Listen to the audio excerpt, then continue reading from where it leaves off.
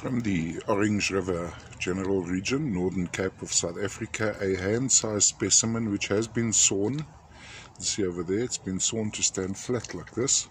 So sideways view would be this. Uh, quartz sitting on a matrix of feldspar. Now, what's so interesting about this quartz? Some have has the have the telltale red hematite inclusions, uh, hematoid ferruginous quartz, and there's some amethyst among these as well. Now let me just give you a sideways view on this guy. Really lovely piece. Size-wise, a little bit larger than a hand size. Um, super large piece.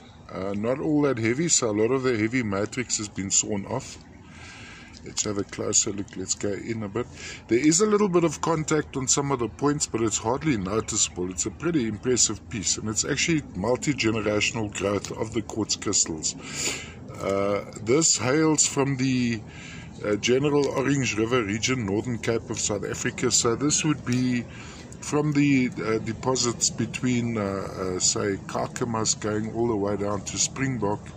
Uh, when you face north, you'll see the, the mountain ranges between Namibia and South Africa. And of course, the Orange River runs through further deeper sections of that.